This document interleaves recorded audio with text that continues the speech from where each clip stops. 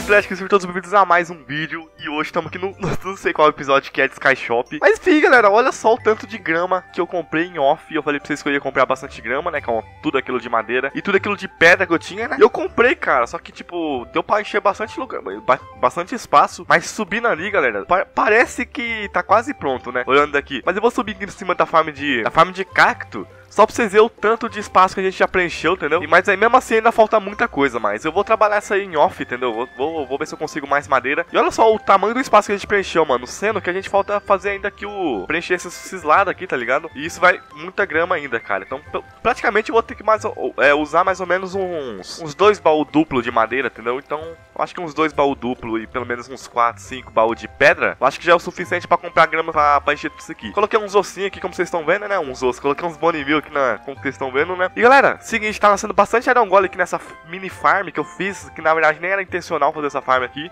Eu só fiz mesmo pros villagers se proteger, pro zumbi não matar ele. E olha só o tanto de arangole, tem três, mano, tem três. Já chegou a nascer sete arangole aqui, só pra vocês terem uma noção, sete. E isso é muito bom, porque aos pouquinhos eu tô conseguindo uns ferrinhos. Mas calma que eu não vou precisar ficar mais fazendo isso aí, galera. Porque hoje a gente vai fazer 16 farms de iron. Calma, calma, que vocês viram aí no título, eu coloquei esse título só... Coloquei esse título aí só pra chamar atenção mesmo, mas praticamente é isso aí que a gente vai fazer, gente. A gente vai fazer 16 farms de Iron, mano. Como assim 16 farms de Iron? Na verdade, a gente vai fazer uma farm de Iron, só que a gente vai usar 16 vilas pra isso, né? E pra isso eu já separei algumas coisas que a gente vai usar aqui no vídeo de hoje. Praticamente eu não vou conseguir terminar esse vídeo hoje, eu vou terminar ele só amanhã. E pra isso, galera, é, eu tô... Eu peguei um tutorial na internet, cara, pra, pra me fazer, porque eu não vou fazer o negócio de cabeça, né? Pelo amor de Deus. E eu fiz, eu fiz uma farm, galera, no, esse aqui é um backup do mapa, cara. Na verdade, tá- é um backup original, né? O que eu fiz, galera? Eu peguei um tutorial de um cara que fala espanhol, né? E eu fiz aqui, ó. Eu peguei, quebrei toda essa cerquinha aqui, arrumei tudo ali com pedra, entendeu? E fiz uma farm iron aqui. Daí, o que, que eu fiz, galera? O cara chegou e falou pra mim no finalzinho do vídeo. Falou que a farm só funciona na versão 1.7, mano. Vocês têm noção? Não, cês- Eu fiz a farm inteirinha, velho. Vocês têm noção? Que mancada que esse lazarento deu comigo, mano? Tipo, o cara já falava tudo enrolado. Olá Tico, você é bem-vindo usar mais um vídeo. e tipo, a gente não entendia nada, mano. Depois o cara chega e fala que só funciona na versão 1.7. Daí o que, que eu fiz, galera? Voltei o backup do mapa. Tipo, gastei mó tempo fazendo a farm, preenchendo tudo isso aqui de terra. Daí eu achei um tutorial de um cara brasileiro que salvou minha vida que é uma farm muito boa ainda. Eu peguei e fiz o que? Eu fiz um, ela no, no, no criativo, né? Em outro mapa. Só pra me pegar mais ou menos o jeito, pra mim não ficar tão perdido, né? Fazendo survival de primeira, a gente fica meio perdido, né? Então o que, que eu fiz, galera? Fiz lá, funcionou. Tipo, ela é bastante complicada pra fazer, porque, né? Eu vou, vou falar aqui pra vocês. Deixa eu, deixa eu organizando as minhas coisas que eu vou levar e já vou subir no pilar. Ela, essa farm aí, galera, ela usa 16 vilas. A gente vai ter que sincronizar 16 vilas em um único ponto, entendeu? Por exemplo, o que a gente vai ter que fazer? Aqui, eu quero que nasça Arangola nesse bloco aqui, vamos supor, né? Daí o que eu tenho que fazer, galera? Eu tenho que criar uma vila aqui nesse bloco, nessa tocha aqui, e eu vou ter que tra- trazer essa vila pra esse bloco, trazer a vila pra esse bloco, e por fim trazer a vila pra esse bloco aqui onde eu quero que nasça, tá ligado? Então eu vou ter que fazer isso 16 vezes, vou ter que criar a vila mó longe do lugar de spawn dos Iron Golems, e começar a trazer ela pro ponto de spawn, que vai ser bem aqui no centro.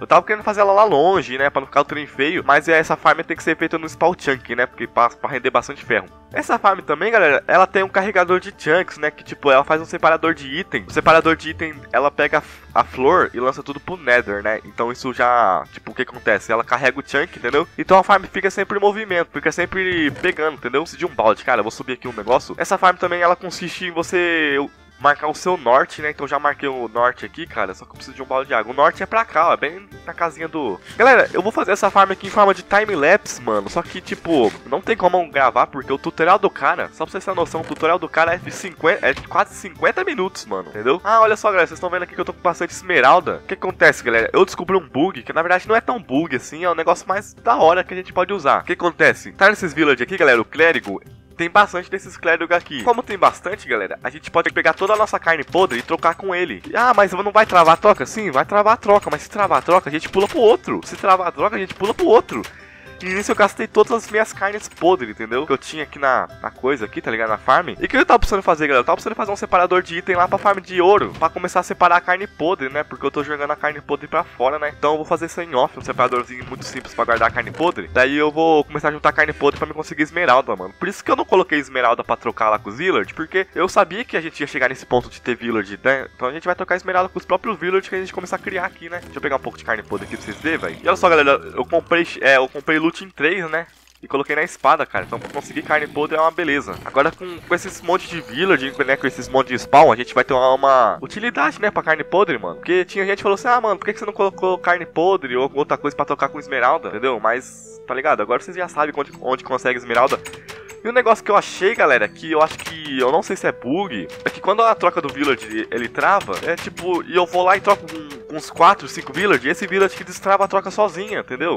Eu não sei o que acontece, mano. Tipo, é bem difícil a gente conseguir bastante esmeralda, né? Mas eu tinha muita carne podre, né? Porque eu juntava tudo. Eu tinha carne podre ali, eu tinha carne podre naqueles baús lá também, ó. Então eu juntei lá o tanto de carne podre e comecei a trocar e dou tudo isso aqui de esmeralda que vocês estão vendo, né? Mas enfim, galera, o que, que eu vou ter que fazer? Eu vou ter que pegar o meu norte, né? Que fica pra lá. E eu vou ter que fazer essa farm praticamente no norte, mano. Eu vou ter que começar. É, ela usa o norte, mano. Só sei disso que ela usa o norte, né? Porque se você não não fazer certinho, cara, do jeito que o cara tá ensinando, é muito provável de dar errado, mano. Até, ó, até coloquei um bloquinho aqui, aqui, mais, aqui é mais ou menos o centro da ilha, né? Eu vou fazer o quê? Que eu vou colocar um balde de água aqui, mano. Só que se eu colocar um balde de água aqui, vai escorrer tudo, velho. Meu Deus do céu, o que eu vou fazer aqui? Eu vou fazer assim, ó. O que eu vou ter que fazer, galera? Eu vou subir aqui numa altura boa, mais ou menos, até aqui das nuvens. Vou subir colocando as... Vou descer pra mim colocar as escadas, entendeu? Pra mim já começar a fazer a farm em, em forma de time-lapse, né? Porque não tem como a gente prestar atenção no vídeo do cara e também prestar atenção no vídeo que a gente tá gravando.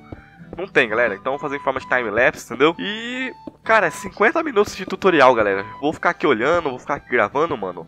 E a parte que vai me dar mais trabalho, galera, vai ser trazer os villagers de lá pra, pra aqui pra cima, né?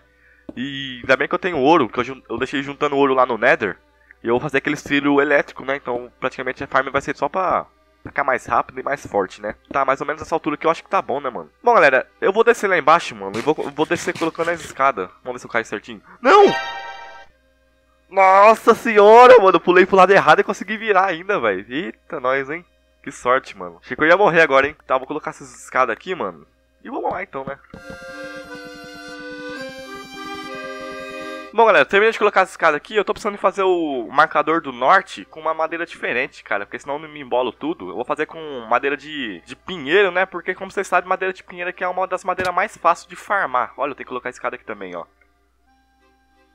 Aí, cai em cima da escada, era pra amortecer a queda, seu maldito. E elas, como vocês sabem, a madeira de pinheiro é a mais fácil de farmar aqui, né? Não precisa nem de fazer farm de madeira de pinheiro, né? Em breve tô querendo fazer farm de madeira de carvalho, cara. Olha o tanto de porta que eu fiz, galera. Essa farm vai usar bastante porta. E eu acho, mano, que eu vou ter que fazer bem mais porta, mano. No tutorial do cara, galera, ele falou assim, ah, faz é...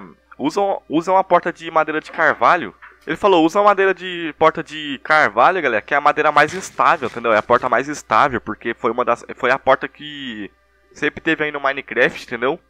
Então eu vou seguir o tutorial do cara, mano. Porque como eu tô fazendo aqui no Survival, cara, vai ser muito trabalhoso chegar no fim e ver que essa farm não funcionou, entendeu? Então vou ver se eu junto mais madeira ali daqui a pouco e fazer mais porta, cara. Porque, velho, a gente tem que fazer o um negócio certinho, mano. Porque se não der certo, vai ser muito trabalho. Ó, galera, esse vídeo que eu tô gravando 3 horas da tarde, cara. É 3 e 18 agora, mano. E eu quero ver a hora que eu vou terminar isso aqui, mano. Praticamente eu não vou, vou terminar e já vou começar a gravar o vídeo, porque já vai estar tá tarde eu acho, né? Mas enfim, mano, o que, que eu vou ter que fazer? Eu vou marcar meu norte e vou pra lá, ó, só. Por que, que eu tenho que marcar meu norte, galera? Ó, deixa eu explicar pra vocês. Porque fica muito mais fácil a gente se guiar pela uma estaca gigante. Deixa eu fazer aqui certinho, mano. Vocês devem estar se perguntando, nossa, mas por que, por que, que, tem, que tem que usar o norte, entendeu? Porque, olha só, galera, a gente vai estar fazendo a farm aqui, tá ligado? E às vezes o cara, ah, olha para o norte. Daí você já sabe que, que é lá, ó, que é esse bagulho aqui gigante. Ah, daí você vira pro lado, ó. Você vira pra esse lado aqui e começa a colocar bloco pra cá, entendeu? Fica muito mais fácil você ficar seguindo no F3 e no, na, pelas coordenadas, entendeu? Dele, ah, vira pro lado direito do norte, entendeu? Fica bem mais fácil, galera. Então, mano, acho que eu vou fazer essa farm aqui agora, mano. Deixa eu quebrar isso aqui, que isso aqui não vai usar essa, essa ponte. Isso aqui vai ser só mais pra guiar, né? E vamos lá, galera. Já é 3 horas da tarde. É, talvez eu vou começar a gravar esse vídeo, terminar esse vídeo de amanhã, né? E vamos ver que bicho dá, mano. E eu já vou falar pra vocês o tanto de tempo que eu demorei pra vocês ficar ciente, né? O tanto de tempo que vocês vai demorar mais ou menos, tá? Se vocês quiserem, galera, o link do tutorial do cara vai estar aí na descrição, beleza? Então, bora pra timelapse.